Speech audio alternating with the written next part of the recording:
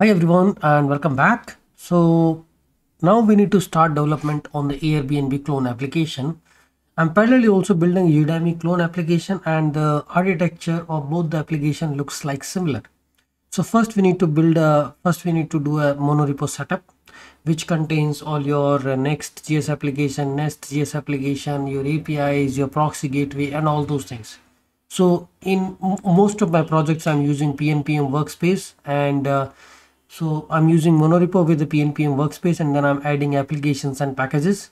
So here, once the monorepo is ready, we will add a Nest.js APIs and there we can use a Prisma for the, the ORM, like we have a type ORM Prisma and other. And we are going to use Auth0 for authentication. And uh, if you wanted to use a Next.js, then there is a Next Auth authentication library that can that can use your auth0 uh, authentication mechanism. I mean, you don't need to explicitly use auth0 libraries to use auth.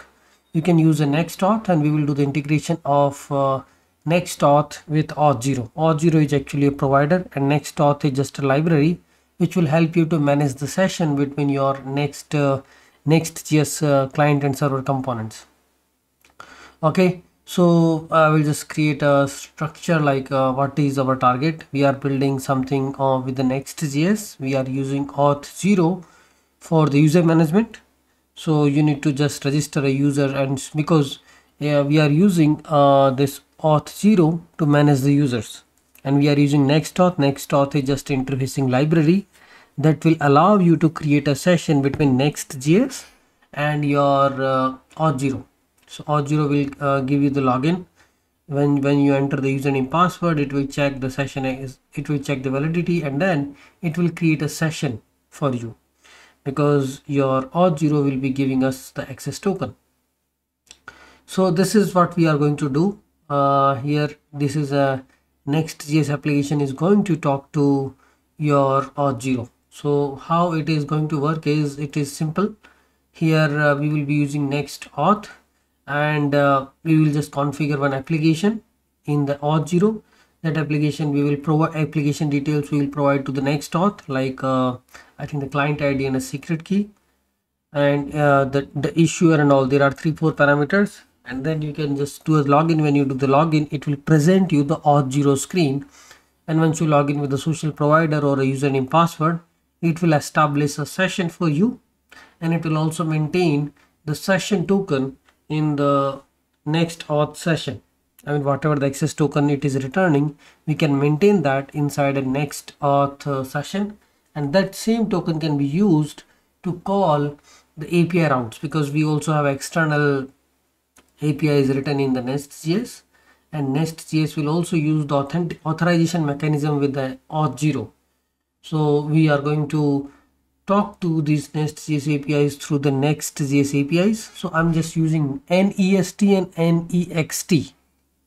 Okay, we are writing external services in the NEST Nest.js and uh, from the Next.js client components, we will trigger a API call to the Next.js and from there, if the session exists, from the section we, session, we can extract the ID token or access token that access token we can pass as authorization header to the Nest.js APIs. I mean, we need to have an authentication token or access token authorization or something which we can pass to these Nest.js services. And these services will validate this token against auth0. Okay, that this token valid uh, has uh, does has not expired. All those things, and these independent Nest.js services can use your Postgres database Prisma ORM to read and write the data. So this is pretty much the architecture we are using for some of the services like uh, Airbnb, Udemy clone.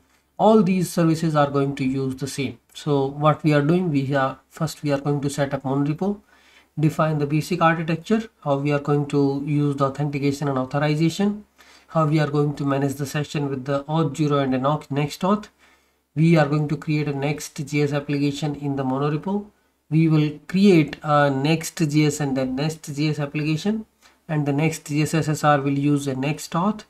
In the next auth API routes, we will configure uh, our details about the applications, right? so this is how we are going to create so we will create one auth 0 application also i mean in auth 0 dashboard we are going to create one application uh, okay saying that these are the callback url this is my application id or uh, secret and those secrets we are going to configure with the next auth in the next js okay?